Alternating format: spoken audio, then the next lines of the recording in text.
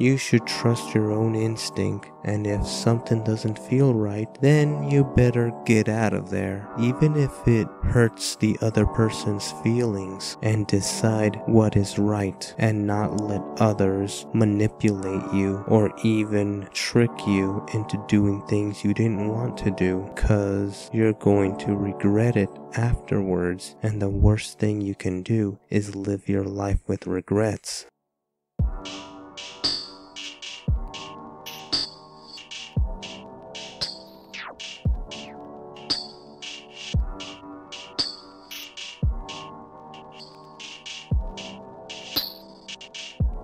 This is Landrider 7th aka LR7, land here, visiting a place where I could get some fresh air and think about the things that happened in my life, or better yet, to reflect on it. As Mount Charleston had become more and more of a escape from the routine of day-to-day life, for me at least. It used to be where I would go with my parents and walk around, take a hike, and admire the beauty of this site, and it only takes an hour to drive from Las Vegas. When winter comes, you're more likely to see snow covering these parts where the altitude is roughly around 6,000 feet above sea levels, which makes quite a difference compared to the desert. It's close by, so when you want to cool off in an otherwise really hot summer month where temperatures are ridiculously high, going above 100 degrees Fahrenheit, then Mount Charleston is the closest place where the temperatures are a lot cooler. It's also a good idea to bring a sweater around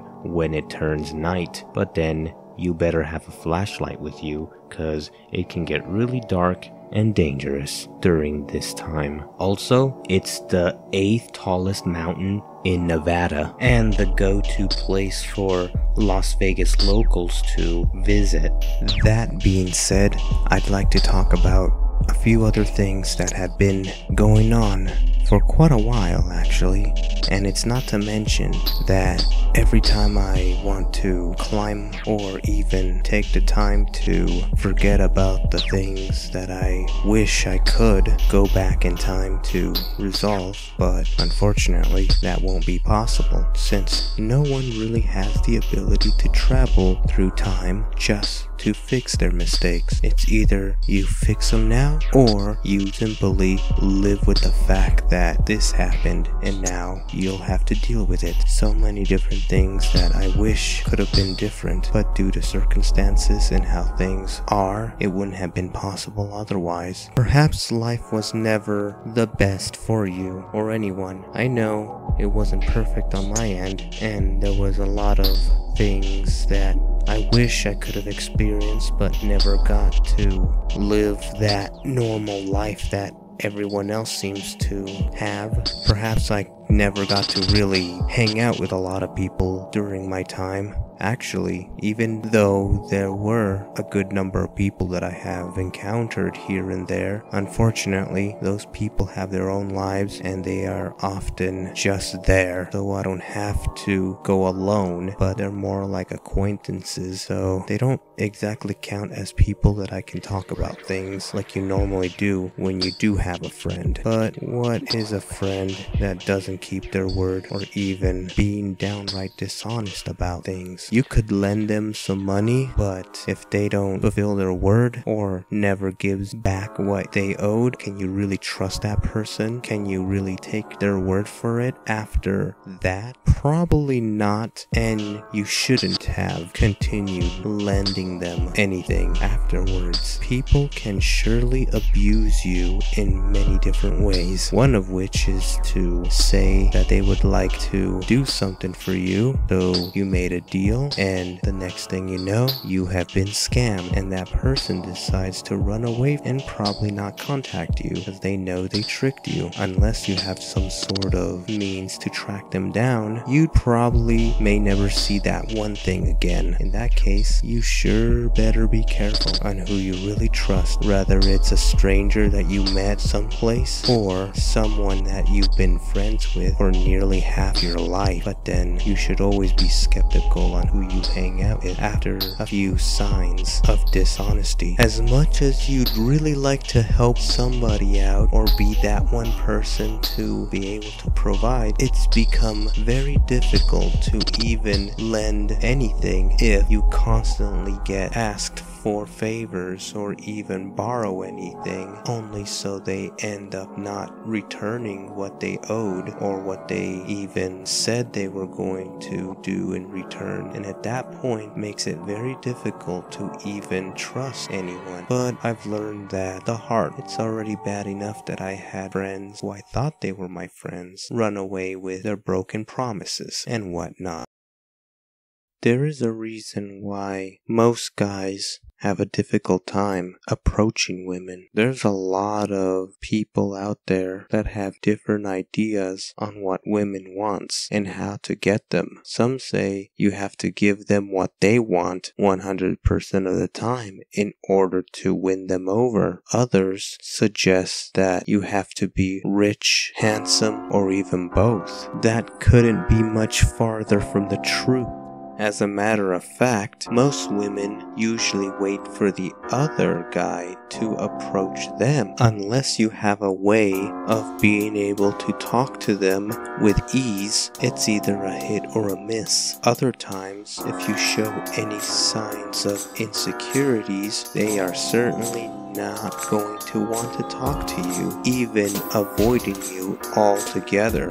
And at that point, you just lost her. It's been said that most introverts are the ones that have the most difficult time getting anywhere with anyone. It may have been the case on my end back in the past. However, it turns out that it is possible as an introvert to at least have them interested in you to show a sense of mystery or to have something interesting on them, or better yet, become more approachable by being relaxed and simply looking like you're doing your own thing. Because the more relaxed and the more you take the time to be yourself, the better your chances could be.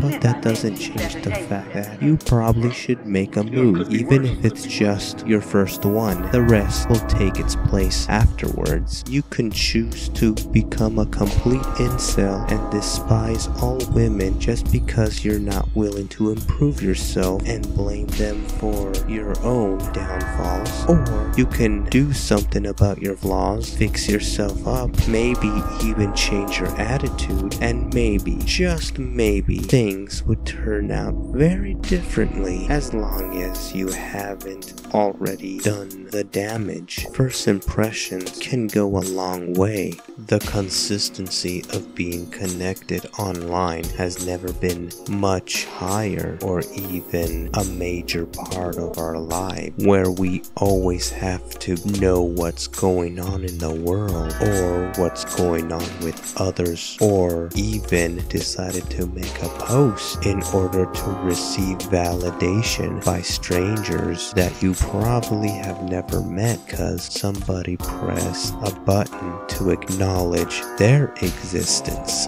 Rather, it's a picture of their food or the ever desire to take the selfie and show it to the world. And on top of that, put a quote that has nothing to do with that selfie, just so you don't seem to be craving for attention. So it seems getting on social media is like trying to see what other people wants you to see. You can show them anything you want and they will only show you the best parts of their lives. They can do that as much as they want and you can tell that some people really, really want self validation, they will go to great lengths just to get some of that temporary happiness, only so it gets forgotten shortly after. But the question here is do people really care what you have to say or what you have to show when everyone else is doing the same thing? A never ending cycle of constantly posting what you're doing with yourselves? Probably not. And it is easy to see why that would make you depressed and encourages narcissism and can sometimes make you question why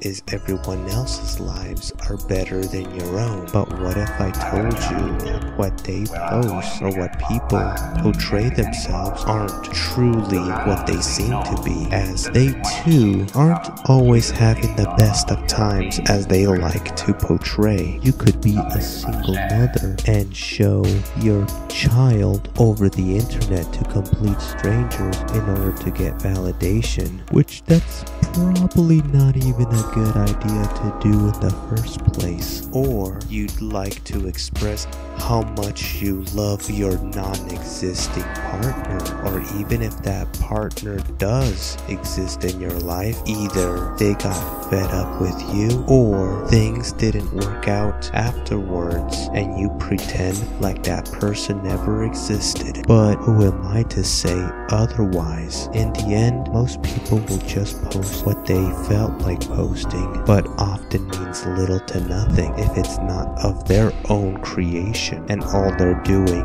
is sharing content that is probably not even their own. And at the end of the day, no one will even remember what you even posted about, and you can see why social media gained its reputation for being the way it is. Talking about some lengthy commentary that switched from my trip to other more personal subjects. It's not something I normally do or talk about, but I felt like I needed to bring this up because who knows, maybe it might help somebody one day. But that being said, I'll stop from here and continue where I left off. Till then, this is LR7 logging out.